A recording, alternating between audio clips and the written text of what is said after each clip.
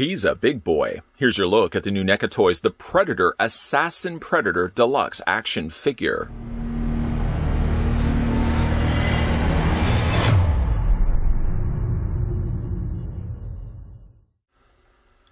Predators have been genetically evolving themselves to be stronger, smarter, and more lethal than ever before. When a young boy accidentally activates a mysterious alien device and becomes the target of these enhanced predators, only his father and the most unlikely ragtag band of crazy ex-military agents can save him and the human race from obliteration.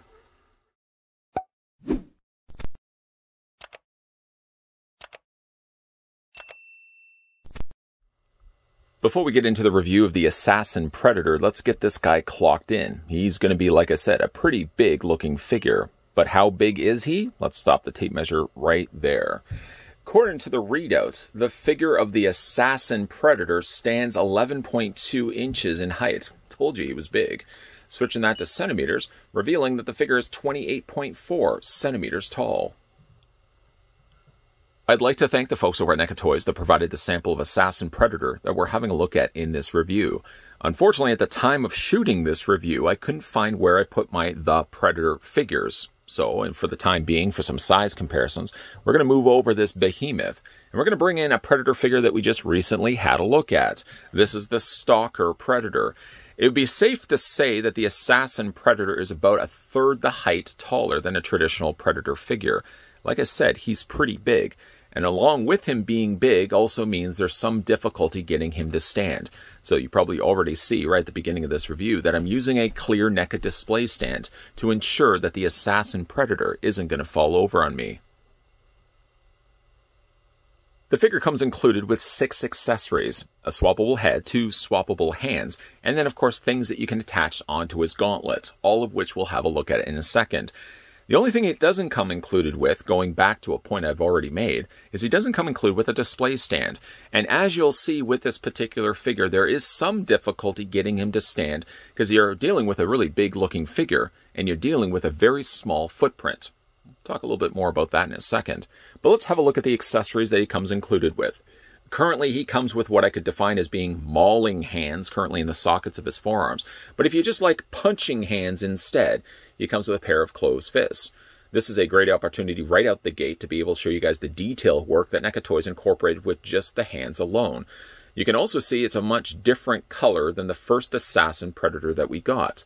Unfortunately, again, I was unable to find where I put that figure, but the color scheme on that one was more of cooler blues, where you can see here, this one has a lot more earth colors being incorporated, earth tones.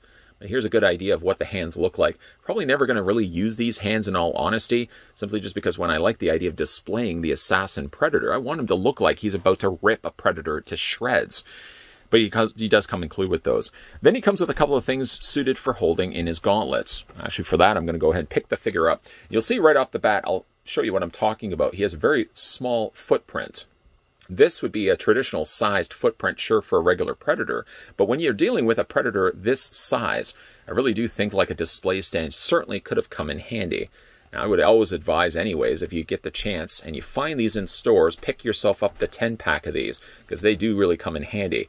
Not only for just putting your characters in dynamic poses, but certainly in the case of the assassin predator, just so he actually doesn't have difficulty standing. You can kind of put him down and balance him off I mean, it's just a case more so of just getting that right situated stance. But like I said, I mean, it's just a lot easier. Get yourself a display stand. Don't deal with the hassle of trying to get this guy to balance on his own. But what we were talking about before I interrupted myself is the fact that he does have swappable options available. Why am I spinning the figure around? I'm spinning the figure around because you'll see here on the back of one of his gauntlets, he's got these two little slot points right there. That is because he comes included with his large gauntlet blade. And you can see it's been nicely done and painted in silver. These little tab points right here, 1 and 2, fit into the groove slots right here, 1 and 2. They don't actually have numbers, I was just saying 1 and 2. But you can see it fits perfectly fine in his hand, or in his arm, I suppose. The other thing he comes included with is spinning it around to the other side. You'll see there's a peg right there. Well, he comes also included with a little blaster, little gauntlet blaster that just pegs into place like that. Now what's neat about this is that it does have posability to it. So it hinges here and it hinges right here. So you can actually move this back and forth. The thing about it though, as I almost almost did it, be careful that you don't lose that. Be careful that you don't also lose the next thing I'm about to show you. It comes included with a little cap cover, which is basically just a folded up version of that gauntlet blaster. And just plug that into place like that. Actually, I think it goes the other way. There we go. Spin it around like that. Perfect. So he does have that as a little protective cover just to finish it off and make it look like it's it's obviously not missing a big hole in the middle of it. So he does come include with that. Of course, I can only stress this several times already. Be careful with these smaller pieces, especially this one and especially the little blaster. You don't want to be losing those. And obviously, with such a small hole like that, it is possible that if you pick and move the figure up from one place in your collection to another place in your collection, I'm just showing you the gestures of doing that, it is possible that, yeah, one of those things could fall off and land on the floor somewhere. So just be careful. The last thing he comes included with, I suppose we'll just pause for a second and not actually look at just yet, because I want to show you guys first the head sculpt that comes with the figure when you get him out of the box. I would certainly recommend if you guys get the chance, go back to my original review of the Assassin Predator and you'll see the color scheme that original figure was. A lot of cooler blues and purples were incorporated into that figure, whereas here I feel we have a much more screen accurate look to this Predator with incorporating more of the warmer yellows, the greenish grays that they've put here on the torso, for example, not to mention all the stripes that they put across the plastic of this figure. It's got some really great looking coloring here. Just spin this around. But quickly showing you guys the head sculpt here. This one does have the closed mandible mouth. There's something about the personality on this particular piece. It's got some really rich looking details there done on the top crest of it. And of course, like all the other predators, he had the dreads located here on the back. Slightly coarser looking dreads than perhaps somewhat that we're used to seeing. In this case, also, the little ringlets seem to be more darker bronze color or copper color versus the traditional gold that we're used to seeing. Now, of the two, I prefer, I'm going to, for this, take this off because I don't want to lose this. I'm actually going to go here and pull this off as well because I just feel like those would be things that would be lost if I'm not too careful. As I said, he does come with an alternate head sculpt as well, which would be this one right here. Oh, now see, now we're talking. I love this head sculpt quite a bit. You can see, of course, the very large open mouth in this instance. The eyes don't really change too much, nor does the rest of the head where all the real drastic changes comes with the one, the, the more the mouth on this one. Quite a big jump when you compare it to the defaulted head sculpt that comes with the figure when you get it out of the box.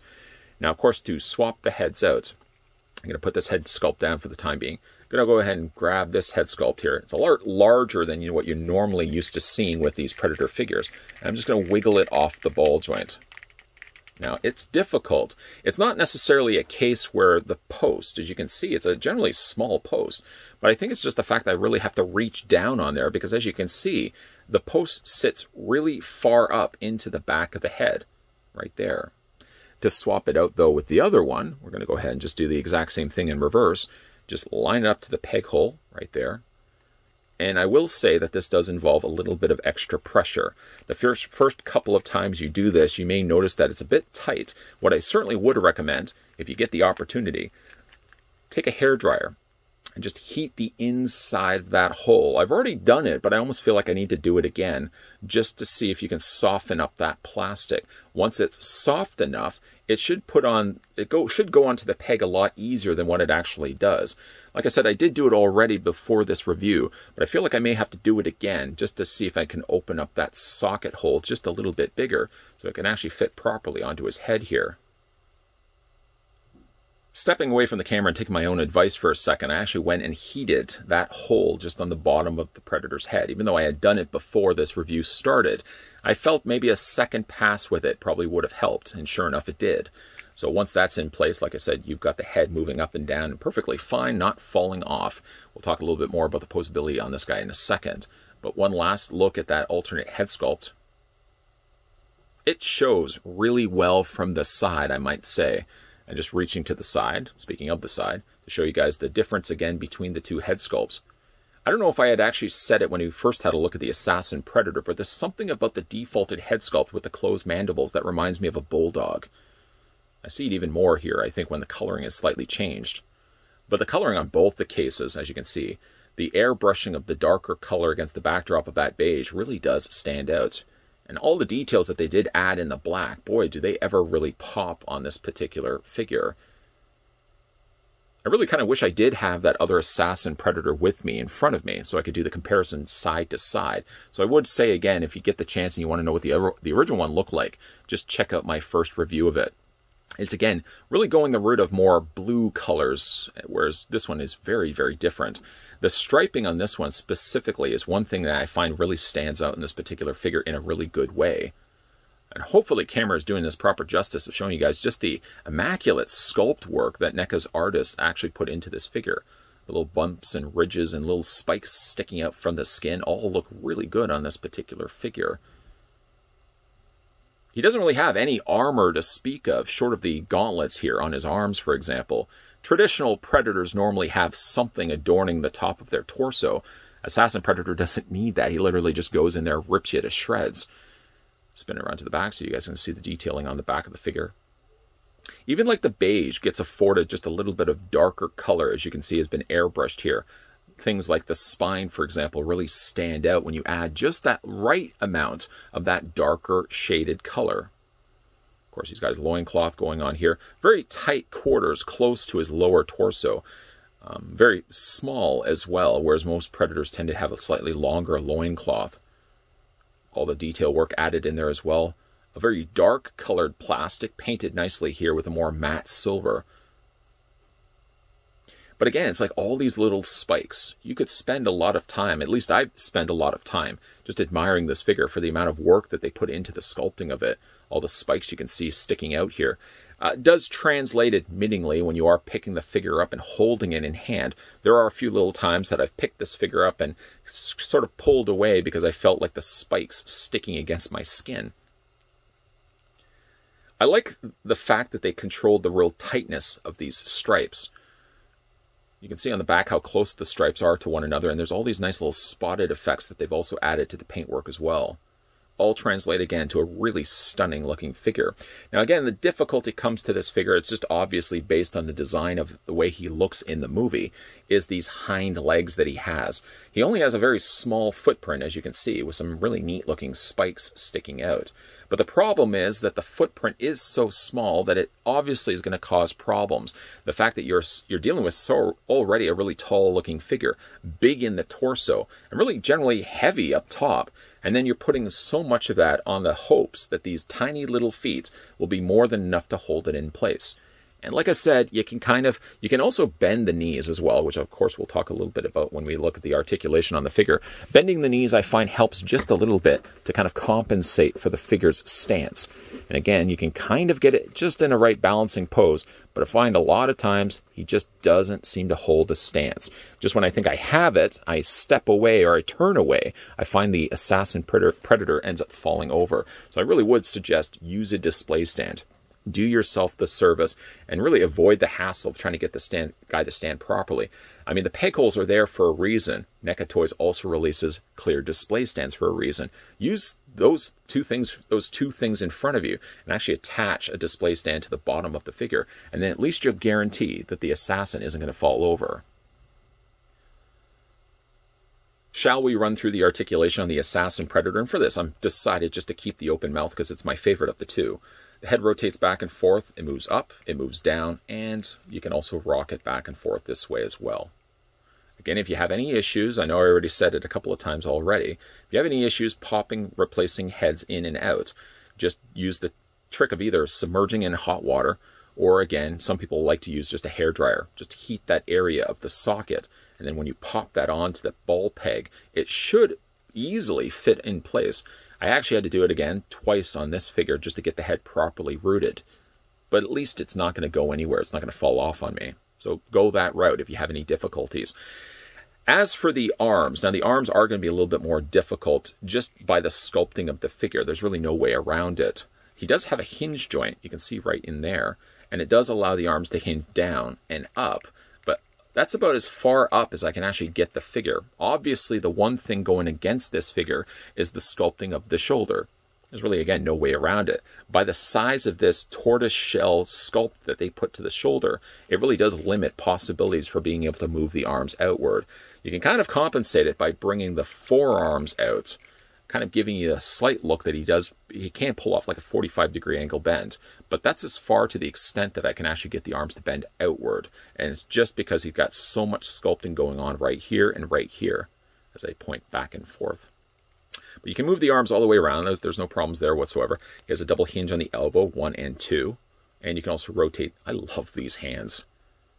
I know I didn't spend nearly enough time really talking about just these hands alone.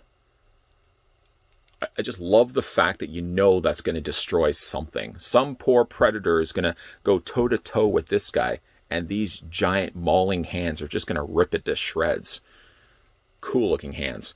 But the hands do rotate all the way around, and uh, you can also hinge them back and forth as well. There's a little hinge joint you can see, maybe you can see right there. He has an upper torso ball joint. He also has a lower torso ball joint. It seems like the lower torso works a lot easier than the top torso. It could also be the fact that there's a lot more plastic going on here, especially when you look at the sides of his torso here, that he doesn't have as much going on here in the lower half. Just seems a lot easier to rotate it this way. Then for his legs, as I'm also bringing out the legs, I don't know if you can hear it or not. Oh yeah, you probably could hear that quite easily. He does have ratcheted joints in his legs. So nice, tight joints. Certainly will guarantee that the figure is not going to develop loose legs over time. The legs move forward, the legs move back. Doesn't really swivel at all, but he does have a double hinge on the knee. Just really tight on this figure. But there's one hinge, and then the second hinge is right in there. And then, of course, when we look at the feet, now the feet are going to be very similar to, not quite similar, but close enough to like a xenomorph in the sense that it, it does have kind of like the arched leg, like this. Does have a hinge where it allows the hind leg or the, the front of the foot to move back and forth this way. And then he also has a hinge joint. I'll just show you here. There's a hinge joint up and down this way, and you can also rock the toes back and forth. That should be enough to be able to get the figure to stand. But again, the real difficulty is the fact that just the size of his footprint, it would be certainly nice if I can actually get this guy to stand properly just for either closing. There we go. Like I said, just to show you guys, he does have the capable means of being able to stand on his own. I'm not necessarily disputing that. But again, you have to kind of get that proper sweet spot going on with the proper angle placement of both his ankles as well as his knees, as well as his thighs, to get everything to balance off. If you really just want to avoid that at all costs, by all means, use yourself a display stand. I don't feel like it's cheating using yourself a display stand. That's what they're there for. And certainly when you deal with a figure as big as an assassin, you really don't want this guy falling off a shelf. That's the last thing you really want. So use yourself a display stand, pose this guy the way that you'll want, and you've got yourself one fantastic looking Yautja to put on display with the rest of the slightly smaller predators that NECA Toys have also put out. I never really had a problem with the original Assassin Predator that NECA Toys had released years ago. It was big, oversized, it was a lot bigger than the Fugitive Predator the way it should be, after all, in the movie. The Assassin Predator just overwhelms that Fugitive Predator. And I really did praise when we first got that Predator how big and incredible it actually looked on display. It just goes to show with a second helping, a second opportunity, and NECA Toys going back to the drawing board when it comes to paint applications, do we actually feel, I feel at least, we get a superior looking Assassin Predator with their second go around? Now, again, when you compare the two side to side, it's almost night and day. The other one had the more bluer colors. Here we have, I feel, more earth tones, a little bit closer to the way it looks in the movie. The also the opportunity with going the lighter colors that we got with this release also gives them a good chance, and opportunity to really enhance those features on the figure by adding some much needed additional airbrushing. And it really does allow the musculature on this particular figure to really pop and stand out. I don't think much changes in the way of the accessories. Still has the swappable heads, still has the swappable hands, and still has the swappable accessories that go attached to his gauntlets. So really what you're getting here is just an upgrade, an improvement, more so cosmetically, not so much, I believe, by the way it was constructed. Sadly, unfortunately, during the course of this review, I really wish I had had that original Assassin Predator, but much like many of my other Predator figures that I don't put on display immediately, they're relegated to a tote somewhere And if I can see if I can find that original Assassin Predator, because I know I still have him, I'll do a follow up video and I'll compare the two. Or what you can also do as well is just go back and watch my original review of that Assassin Predator, and you'll really see the differences just a little bit of paint actually makes. This isn't the first time, of course, NECA Toys goes back and re-releases or reissues a figure with brand new coats of paint. They've done it with a lot of their Friday 13th figures as well.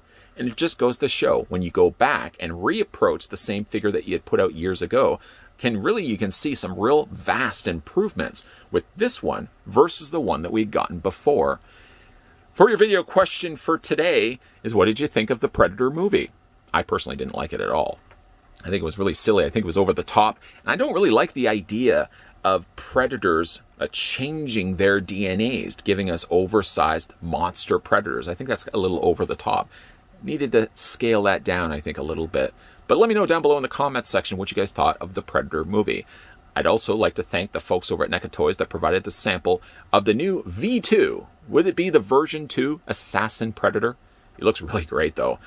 A big thank you again to the folks over at NECA Toys that provided the sample of Assassin Predator that we had a look at in this review. Hey now, if you're new to this channel and you're liking all the content you're seeing, perhaps the first video that you stumbled onto this little small channel, oh mine, was maybe the assassin predator, then welcome. Come on in, new subscriber. Make sure you hit that subscribe button down below, new subscriber. Make sure you turn on that bell notification, new subscriber. And make sure you come back to this channel Monday to Friday, 12 p.m. and 2 p.m. Eastern Standard Time. That's when we always have new videos popping up. And speaking of which, speaking of new videos, there's going to be a whole ton of new NECA reviews lined up and also coming your way as well. So there's always new stuff to be checking out on a weekly basis. As always, guys, thanks for watching, and I'll see you guys next time.